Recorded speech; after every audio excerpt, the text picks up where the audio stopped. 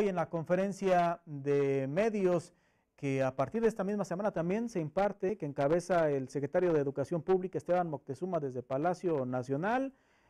A propósito de esto, de esta nueva modalidad, eh, normalidad para el próximo ciclo escolar que ha anunciado el gobierno de la República, estuvo presente la red de radiodifusoras y televisoras educativas y culturales de México, de la que forma parte el Instituto Morelense de Radio y Televisión, en la persona de la presidenta del Consejo Directivo, María Teresa Velázquez, quien a nombre de los medios públicos del país refrendó el compromiso para abrir las señales, radio y televisión y sumarse a esta transmisión de los contenidos que genere el sector educativo para el próximo ciclo.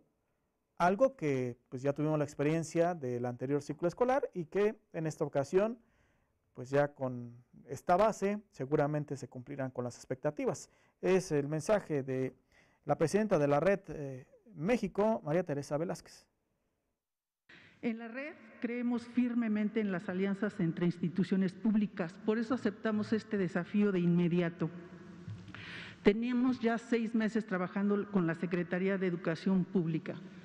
Ha sido una gran experiencia Vivimos muy de cerca los afanes del equipo que comanda el secretario para llegar de inmediato y con, calidad a educandos y educadores. Aportamos incluso contenidos y pensamos en estos tiempos difíciles cuánta razón tuvo siempre José Vasconcelos al entender a la educación en muchos escenarios y con muchas herramientas. Celebramos que los medios comerciales se sumen de manera fidedigna y sin ningún interés a un trabajo que los medios públicos venimos realizando. Este esfuerzo que marcará de manera importante y vital el rumbo de la nueva escuela mexicana.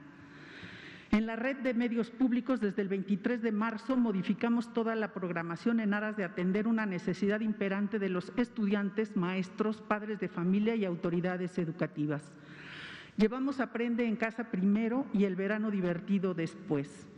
Agradecemos la solidaridad de nuestras audiencias para entender que a tiempos extraordinarios se requieren decisiones, acciones y trabajo extraordinario. Exploramos nuevas posibilidades de comunicación para la educación. Dispusimos infraestructura y experiencia para enfrentar esta pandemia. Reafirmamos la vocación educativa y cultural que nos caracteriza en 74 medios asociados confluimos los medios de servicio público federales, estatales, universitarios, sociales y municipales en 31 entidades del país. Más de 600 señales al servicio de los ciudadanos y ciudadanas.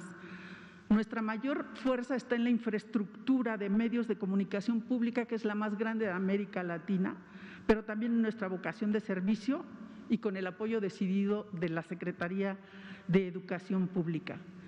Sin dudarlo, abrimos también canales multiplexados nuevos para dedicarlos 24 horas al trabajo eh, que enfrentó y que, y que, hizo la Secretaría de Educación Pública y en esto nos apoyó mucho y decididamente el Instituto Federal de Telecomunicaciones para hacer ágiles los trámites.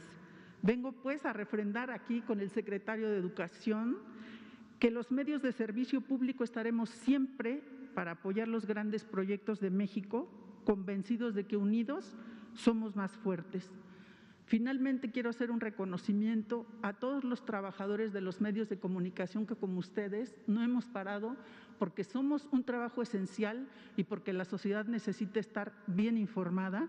Así es que mi reconocimiento a los trabajadores de los medios de comunicación en general y permítanme muy especialmente a las de la red de radiodifusoras y televisoras educativas y culturales de México que no hemos parado y no vamos a parar mientras México nos necesite.